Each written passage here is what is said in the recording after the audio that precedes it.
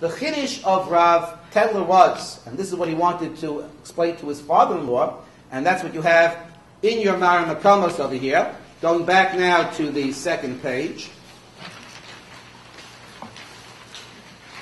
Is a tshuva which was written to Rav Moshe Feinstein wrote a letter, an answer to the questions of Rav Moshe David Tendler, in which, and this is the first time we have in halachic literature a discussion of brain death being introduced as a halachic question, whether or not, in fact, this is a halachic category we have to be concerned with and have to rely upon. And all the early Shuas of Moshe Feinstein, he didn't deal with the concept of death of a brain. He was dealing with the question of the death based upon respiration, based upon cardiac activity. It's in this tshuva that brain death became part of the vocabulary, a part of the questions of Moshe Feinstein's activities. And as I read before, when it comes to this paragraph, where he's talking about a person who is an accident victim, and he's brought into the hospital with a collapsed lungs, and you're putting a person in all different types of machinery to try to reinflate the lungs and give the person to survive this trauma, and it seems no matter what you're doing, the person seems to be literally lifeless. And the question now is, how do you know whether the person is alive or dead to declare the person totally dead? So at this juncture, what you do is, so he says, I heard from my son-in-law that there's one way of determining whether the head is still functionally connected to the body, and that is by using what's called zerikas ezaluchas baguf, by doing what's called a radioisotope, blood sensitivity test, taste, testing whether or not the blood itself is able to be indicated by radioisotopes contained in it going from the bottom of the body up into the brain itself. Whether the brain has been totally severed from its connection to the, to the body or not.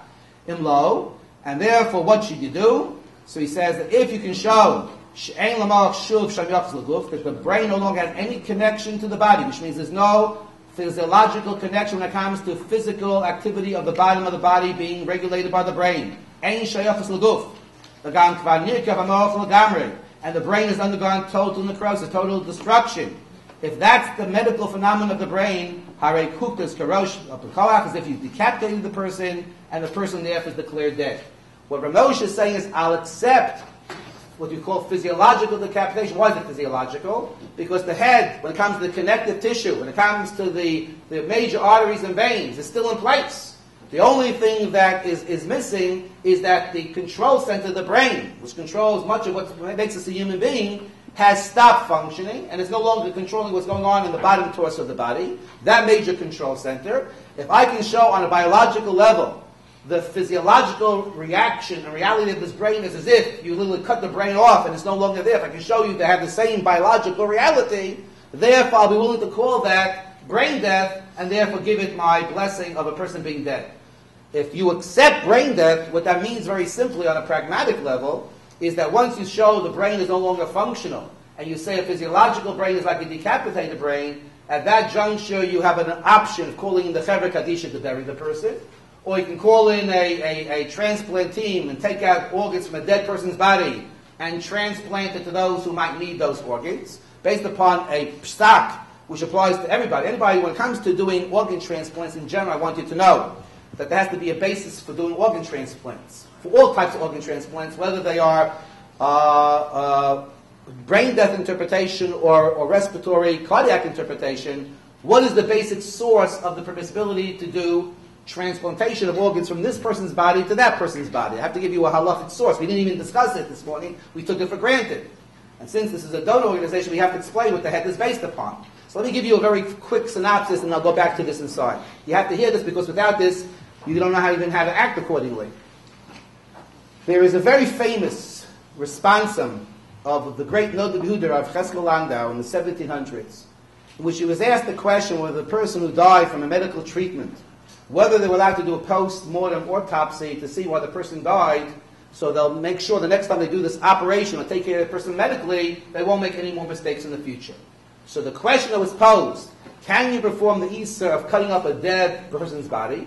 which is an Isa, a Torah called the Isa of Nivlames, you're doing something to show disrespect to the physical body of the person's body, that person's body. Can you be manavul mess for the sake of a potential pikuach nefesh, saving a person's life in the future? That was the question was posed to him. Is the Isa of showing a disrespect for the body torso of the dead person allowed to be violated for the sake of saving human life?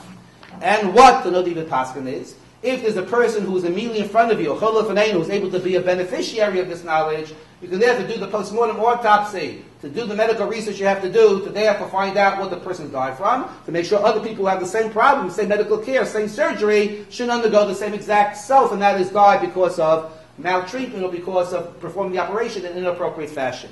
This is called the principle, pikuach nefesh overrides the prohibition of Nivelanes. He was not mechadesh, this concept is based upon Gemara Chulin Daf Yiralef, for those who want to look it up. But the Gemara says explicitly that pikuach nefesh is able to override the Isa of Nivel Hames. What? Translate what you just said. Okay. Uh, okay. Which part did I lose you, my dear? I hope not. what that means very simply is, if you have a question of, of desecrating a dead person's body, which is a biblical prohibition, okay? And you have, on the other hand, a big, big mitzvah, a saving human life. Are you allowed to violate the desecration of a human being's body for the sake of saving somebody's life with that body? Either by medical research on the body for immediate information, or in this case, to harvest organs from the body. Clear? So what the Notability says in this case is we're allowed therefore to violate the prohibition of desecrating the dead person's body for the sake of saving human life, either doing post-mortem autopsy on the body to see why the person died, there was a mistake made in the surgery, or the medicines they were given were toxic and killed them, will then change the prescriptions for the other patients with this type of situation. They shouldn't have to suffer the same thing. What we want to do is apply it to taking an organ out of this body, which Nobel was not talking about. In those days, there was no such thing as transplant surgery. Taking an organ from this person's dead body and transplanting it into a recipient.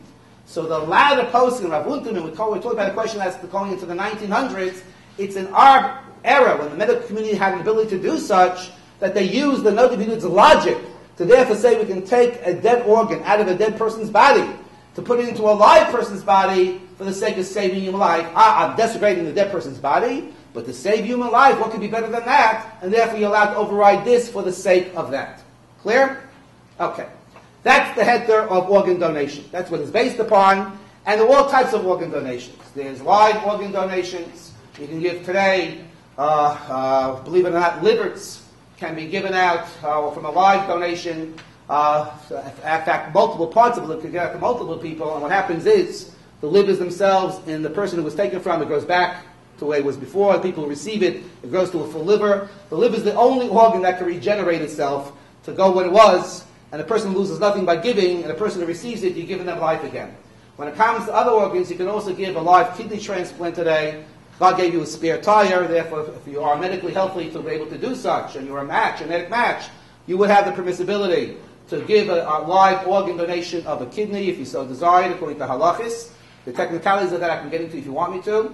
When it comes to the question of a corneal transplant, when it comes to a heart transplant, when it comes to a lung transplant, when it comes to a skin transplant, uh, when it comes to an ovarian transplant, all of this has to be done when the person's dead.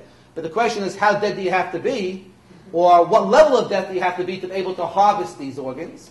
When it comes to corneas, when it comes to ovaries, when it comes to skin, there, even if you are on the most strictest interpretation of death, which means respiratory cardiac death, you can still harvest these organs and have a successful transplant. Kidneys it works upon, ovaries it works upon, corneas it works upon, skin it works upon, and this has been proven.